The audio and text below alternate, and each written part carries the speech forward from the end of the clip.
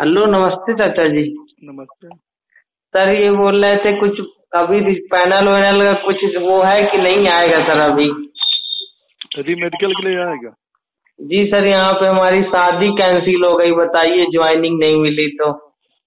अभी क्या बता सकते हैं? मेडिकल के लिए आएगी। बताइए सब बोल रहे थे शादी लगी थी वो भी कैंसिल हो गई थी अब अभी ज्वाइनिंग नहीं हुई क्या पता हुआ है या नहीं हुआ है। उनसे बात करा देना था हमसे। तो हम ससुर जी से बात करा देंगे आप आपकी। हाँ हाँ किसमें मेन में हो किसमें हो? हम सर मेन में हमारे एट्टी टू मार्क्स है। अच्छा किस लोको पायलट में टेक्नीशियन में हो? सर लोको पायलट में पूरा एट्टी टू है सेवेंटी प्लस थर्टी मिला के। क्या क्या कास्ट है तुम्हारी?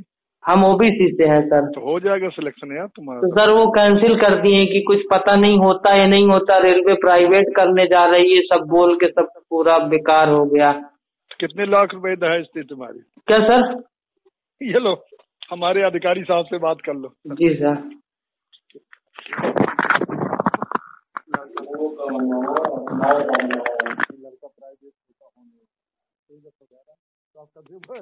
हेलो। हेलो। हाँ सर।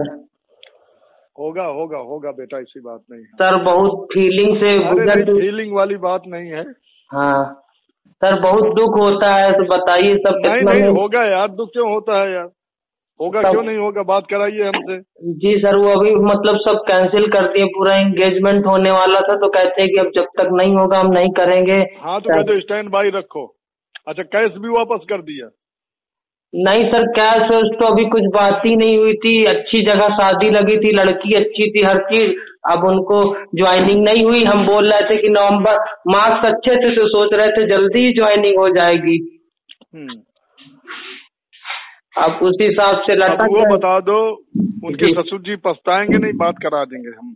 जी सर मैं बहुत सिलेक्शन तो तुम्हारा हंड्रेड परसेंट है ठीक है? जी सर सब चीज़ फिट हुई यही सब चीज़ बात करके तो वो सब मतलब कह रहे हैं कि रेलवे प्राइवेट होने वाला है कोई भड़का दिया इधर उधर से बहुत दुख हुआ सर आज रोना आ रहा था एकदम से। हाँ।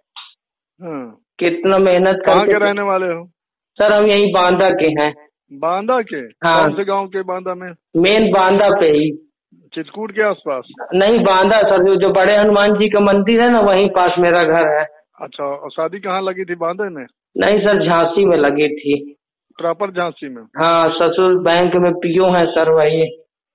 अच्छा। हम्म अब बहुत दुख हुआ आज इतना मतलब सुनने को अभी तक तो ये था कि घर वाले सुनाते थे नौकरी नहीं लगी थी।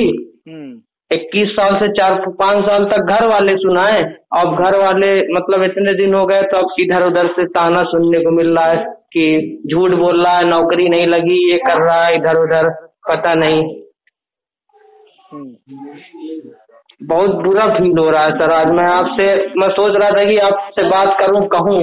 कल से मेरी हिम्मत नहीं हो रही थी लेकिन मैं नहीं अभी तो भेद भाई साहब देखिए अभी री मेडिकल के लिए लिस्ट आने वाली समझे? सर मतलब आप बोल रहे थे इकतीस अक्टूबर को आएगी तो हम नहीं अब री मेडिकल के लिए बीच में यार रेलवे बोर्ड के आदेश ऐसे आ जाते जेई का आ गया पैरा मेडिकल का आ गया। तो हम्म, इसलिए मामला अभी वो चीज़ को वीकनेस पॉइंट तुमको क्या बताएँ हम? हम्म। होना ज़रूर है हंड्रेड परसेंट वो तो ठीक है सर हम समझ रहे हैं आप समझ रहे हैं लेकिन अगले को नहीं समझ में आ रहा ना अगला नहीं सब तो अभी क्या कर सकते हैं नहीं समझ में आ रहा बताइए तो। हो गया सर अब हमारे क्या- तरफ़ से क्या हो सकता अब हम भी कुछ नहीं कर सकते हो गया नहीं नहीं होगा होगा। वो हंड्रेड तक तो उन- उनको पछतावा रहेगा। हो गया अगर तुम्हारे से बातचीत होती है हाँ हाँ। बातचीत होती तो कह दीजिए आपको ज़िंदगी में पछतावा रहेगा नहीं एक नंबर ले लो हमारे इस नंबर से बातचीत कर लो। जी सर अगर नहीं सुनिए पहले। हाँ हाँ। अगर बोला मे, मेरा रोल नंबर ले लो रजिस्ट्रेशन नंबर लो डेट ऑफ़ बर्थ किसी लड़के को भेज के आप पता करवा लीजिए। जी सर मैं अभी आपको देने को तैयार हूँ कुछ भी वो अरे नहीं नहीं तो उनके अपने ससुराल वालों को भेजो ना अपना एडमिट कार्ड दे तो बोलो जाके पता कर आइए आप।